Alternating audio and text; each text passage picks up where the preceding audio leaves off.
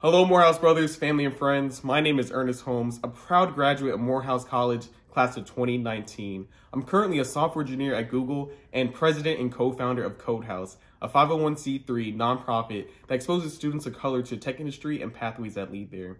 As many of you guys know, today is Giving Tuesday. This is your time to give back to Mother Morehouse, as Mother Morehouse has given back to not only me, my Morehouse brothers, but the surrounding community as well. Also, many of you guys might realize that I'm part of the 2019 class of Morehouse College. That is the same class that Dr. Robert Smith blessed by paying off all of our student loans. His centralized theme was paying it forward, and that allowed me to encourage that theme and bring that theme into my nonprofit CodeHouse. And now we're able to give thirty, twenty thousand dollars scholarships to students going to the AUC. So I encourage you guys to also pay it forward by giving it back to Morehouse and donating today.